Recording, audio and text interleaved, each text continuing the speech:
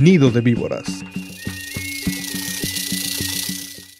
La encuesta es de quien la trabaja. El fin de semana pasado se dieron a conocer los números de dos encuestas con resultados contrastantes. En una de ellas, publicitada en primera plana por al menos dos diarios de circulación estatal, la alcaldesa Mara Lezama aparece en el top 10 de los presidentes municipales más honestos del país. En la otra sale mucho más abajo en su índice de aprobación. ¿A quién hacerle caso? A ninguna y a ambas, porque a final de cuentas se trata de un ejercicio estadístico cuyos márgenes de error, por muy científicamente calculados que sean, dejan espacio para la duda, pero sobre todo porque se trata de percepciones, las cuales son tan cambiantes como la marea. En todo caso, la lectura de ambos resultados indica que cada quien habla de la feria según le va en ella. Para algunos, Mara es honesta y para otros su desempeño no ha sido nada del otro mundo. Trascendió hace unos días que Donald Trump anda echándole el ojito a Groenlandia para anexarlo a Estados Unidos por la vía de la chequera. La posibilidad, que no sería tan ajena como parece, puesto que ya ha sucedido en el pasado con Alaska y Luisiana, ha provocado desde risas hasta preocupación. Pero sin importar si la gente naranja logra plantar la bandera de la barra y las estrellas en suelo danés, conviene considerar su estrategia como una posible salida a varios de los problemas que nos aquejan en Quintana Roo. Por ejemplo, se podría terminar de tajo con el problema limítrofe con Campeche y Yucatán comprando ambos estados,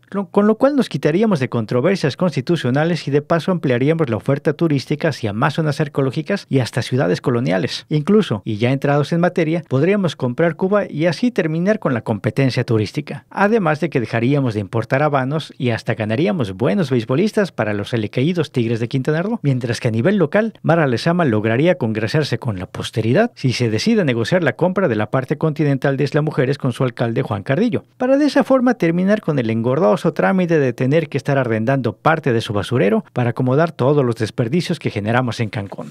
El presidente de Estados Unidos podrá ser un antipático de lo peor, por decirlo de manera amable, pero a veces tiene ideas que resultarían hasta simpáticas si no fuera porque su cargo lo hacen peligroso. La exgobernadora de Yucatán, Ivonne Ortega, renunció a su militancia prista porque no la eligieron como su presidenta. De manera oficial, su salida fue un acto de dignidad emanado de su discordancia con los rumbos que está tomando el tricolor, por lo que prefirió abandonar el partido de sus amores y buscar suerte en otro lado. Aunque hay otra versión que señala que más que dignidad, la renuncia de Ortega Pacheco resuma ardidez, porque eso de que la haya derrotado un campechano le duele a un yucateco más que un panucho de chile habanero.